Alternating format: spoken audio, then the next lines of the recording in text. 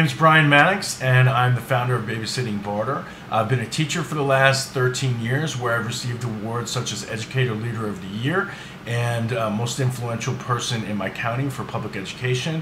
Uh, I've turned my scopes to revolutionizing the way we do babysitting because I think this is a real problem that we can solve uh, by leveraging the local businesses in our community to make babysitting cheaper and to make it more affordable. We have two models on babysitting barter. There's a freemium model where people create co-ops and trade babysitting like they did in the 70s, but they do it online.